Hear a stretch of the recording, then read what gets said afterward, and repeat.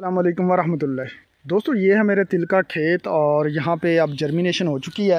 तो यहाँ पे मैं आज की वीडियो में आपको बताऊँगा कि जर्मिनेशन होने के बाद हम कौन से मसले मसाइल आ सकते हैं और उनको हमने कैसे हल करना है। तो दोस्तों, आप देख रहे हैं कि यहाँ पे जो तिलों की है, वो जर्मिनेशन मुकम्मल हो चुकी है। ये आप देख रहे हैं।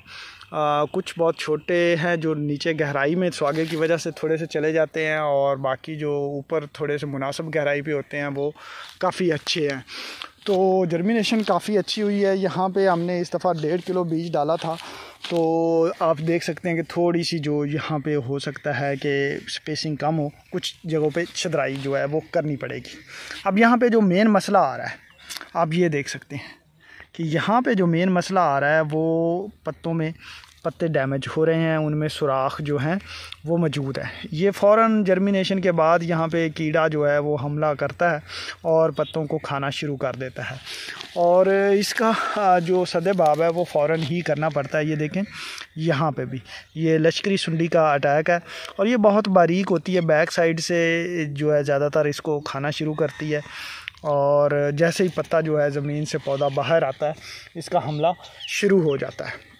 अब यहाँ पे जैसे ही जर्मिनेशन मुकम्मल हो जाए, अब उसी वक्त इसका सदेबाब करना ज़रूरी है, वरना ये अगर हम डिले करते हैं तो ये ऊपर से सारे पत्ते खा जाएगी और फ़सल को ग्रोथ करने में कई दिन फिर रिकवर होने में लग सकते हैं। अब यहाँ पे स्प्रे कौन सा कर सकते हैं जो सबसे सस्ता आपको यहाँ पे पड़ सकता है कि आप सिर्फ़ एमामैक्टन लें एक जो बीस लीटर की टैंकी होती है, उसमें अस्सी एम डाल लें। और उसका स्प्रे कर दें, आपका ये मसला जो है वो काफ़ी हद तक हल हो जाएगा।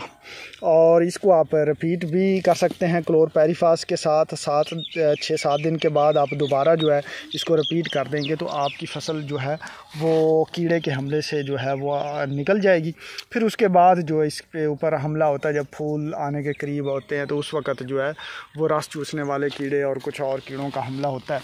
तो उस वक़्त आप उनका जो है वो कंट्रोल के लिए स्प्रे वगैरह कर सकते हैं। इस स्टेज पे सिर्फ़ आपके लिए यही है कि एमामैक्टन का एक स्प्रे कर लें और छः सात दिन के वक्फे के बाद जो है वो क्लोर पेरीफास का एक स्प्रे कर देंगे। तो फ़सल जो है वो इस शुरुआती जो कीड़े का हमला होता है, उससे निकल जाएगी।